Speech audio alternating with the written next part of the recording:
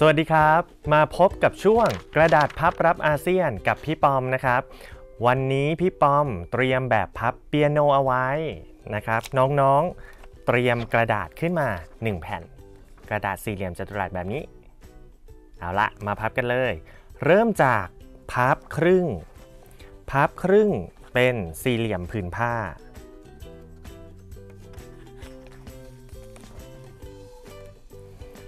จากนั้นให้พับครึ่งอีกครั้งหนึ่ง เพื่อหาเส้นกึ่งกลางนะครับ แล้วก็เปิดออก ทีนี้เมื่อเราได้เส้นกึ่งกลางแบบนี้ เราก็พับขอบทางด้าน ขวาด้านซ้ายนะครับ พับเข้าไปที่เส้นกึ่งกลาง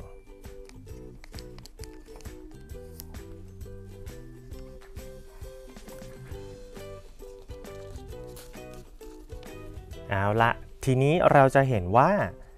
ที่ขอบด้านขวาแล้วก็ด้านซ้ายเนี่ยจะมีซองอยู่นะครับ ให้เราใช้นิ้วแหวกเข้าไปในซอง แล้วก็กดลง บางคนเขาก็บอกว่านี่เป็นวิธีพับรูปบ้านนะครับ เพราะว่าเมื่อแหวกออกมาแล้วเนี่ยจะกลายเป็นเหมือนบ้าน แต่ว่าวิธีพับของเรายังไม่จบนะครับ ต่อจาก ภาพที่เห็นว่าเป็นรูปบ้านเนี่ยนะครับ ให้เราพับขอบทางขวาทางซ้ายเข้ามา ปิดไว้อีกทีหนึ่ง เพื่อที่จะทำเป็นเปียโนนะครับ แล้วก็แง้มออก แง้มออกเสร็จปั๊บ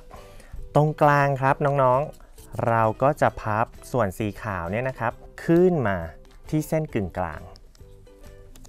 นะครับ แล้วก็พับขึ้นมาอีกชั้นหนึ่ง พับทบขึ้นมาเลย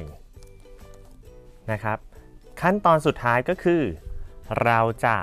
เขียนตกแต่ง ตกแต่ง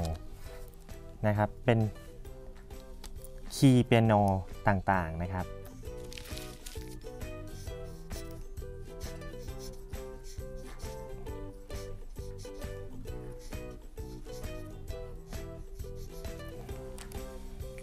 เอาละ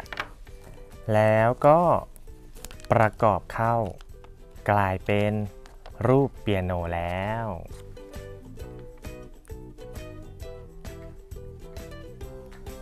แล้วก็หมดช่วงกระดาษพับรับอาเซียนสำหรับสัปดาห์นี้นะครับ พบกันใหม่สัปดาห์หน้า สวัสดีครับ